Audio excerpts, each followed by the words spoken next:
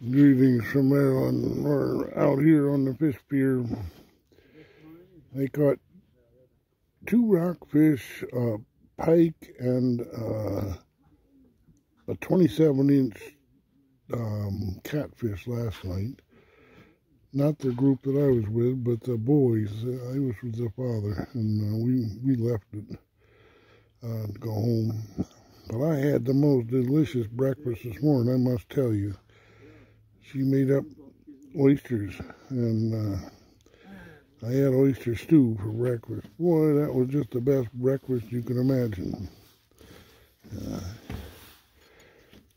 she used about a pint of uh, fresh oysters and uh, oh, that was so good. Ugh.